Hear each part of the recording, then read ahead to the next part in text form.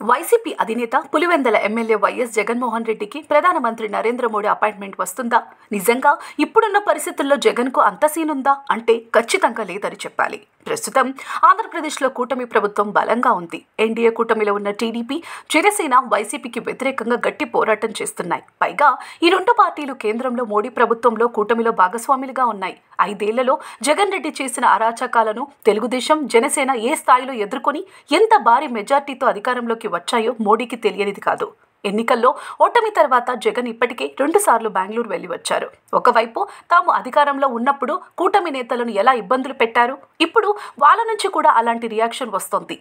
జగన్లో ఎప్పుడూ లేనంత అభద్రత నెలకొంది. రాష్ట్ర వ్యాప్తంగా వైసీపీ శ్రేణులు కూడా భయపడుతున్నాయి. ఇదంతా వారి స్వయంకృత అపరాధం. అధికారంలో ఉన్నప్పుడు రెచ్చిపోయి ఇప్పుడు భయపడుతున్నారు. ఈ క్రమంలోనే ప్రధానికి జగన్ లేఖ రాశారు. కూటమి ప్రభుత్వం కక్షపూరిత రాజకీయాలు చేస్తోందని విమర్శించారు. ప్రభుత్వం ఏర్పడినప్పటి నుంచి ముప్పై ఒక్క మంది హత్యకు గురయ్యారని ఇప్పటికే రెండు వేల ఏడు వందల కుటుంబాలు గ్రామాలు విడిచి వెళ్ళిపోయాయని మరో ముప్పై మందికి పైగా ఆత్మహత్యాయత్నానికి పాల్పడ్డారని జగన్ లేఖ రాశారు. అలాగే కూటమి ప్రభుత్వంలో ఇరవై ఏడు మంది ఐఏఎస్లు ఇరవై నాలుగు మంది ఐపీఎస్ అధికారులు పోస్టింగులకు నోచుకొని విషయాన్ని కూడా జగన్ ప్రధాని దృష్టికి తీసుకెళ్ళారు.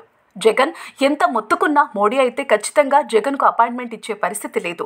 ఇప్పుడున్న పరిస్థితుల్లో ఆంధ్రప్రదేశ్లో కూటమి ప్రభుత్వానికి మోడీ చేయాల్సింది ఎంతో ఉంది. టీడీపీ జనసేనకు కలిపి లోక్సభలోనే ఏకంగా పద్దెనిమిది మంది ఎంపీలు ఉన్నారు. పైగా జగన్కు అపాయింట్మెంట్ ఇచ్చే టైం తీరిక మోడీకి లేవు. పైగా ఇప్పుడు జగన్ ప్రజా తిరస్కరణకు గురైన నాయకుడు. అలా అనటం కంటే ఘోరమైన ఓటమి చూసిన నాయకుడు. పైగా బీజేపీ కూడా ఏపీలో కూటమి ప్రభుత్వంలో అధికారంలో పంచుకుంటుంది.